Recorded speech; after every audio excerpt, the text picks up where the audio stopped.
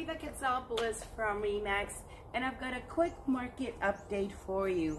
The sales figures are in for the month of March, and here's how things stand. Sales uh, for March have been 71 and 87. Sales made pretty much the same as last year. Prices 788 for the average, and that's pretty much the same as last year. What is interesting is looking at what's been happening so far for 2019, the first quarter, January, February, and March. Sales, uh, January were 4,009, February 5,025, so a 25% increase. In March, sales went up to 7187, which is a 43% increase. Listings, uh, January listings were 11,962, February 13,284, which is an increase of 11.1%.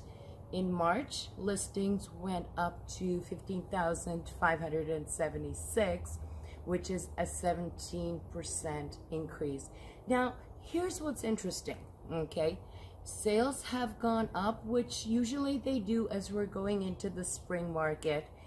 However, listings, while they've also increased, have not increased as much, which means that we are definitely in a, a seller's market. This is also why, even though the market is a little bit slower, the prices have gone up.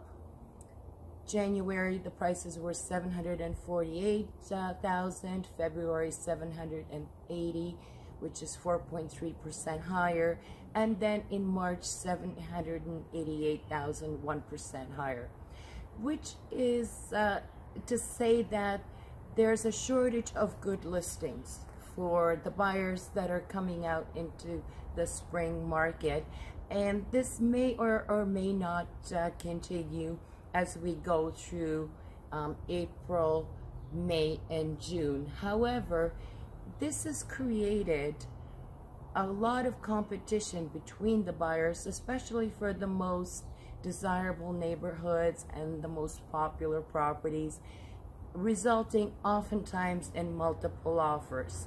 So what does this all mean?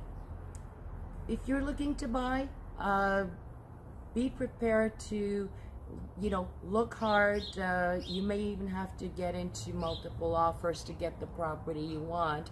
If you're a seller, definitely take advantage of the increased sales, but not uh, not as much of an increase in the listings to match those higher sales. So this is a great opportunity for sellers.